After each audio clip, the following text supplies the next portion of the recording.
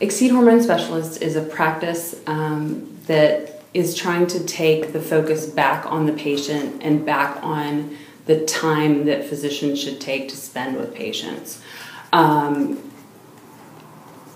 it's a it's a collection of knowledge that relates to gynecology and urology, of course, because those are the two specialties that um, Dr. Pearson and I represent.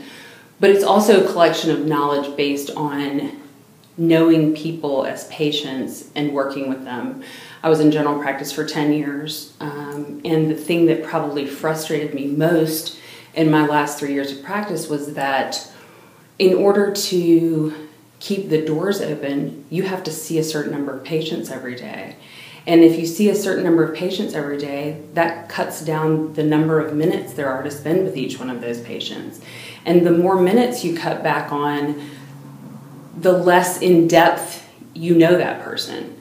Um, and the less the less likely that person is to listen to your recommendations because they don't you haven't informed them enough about what you think they should do and why and how's that going to fit into their lifestyle when you've spent four minutes with them.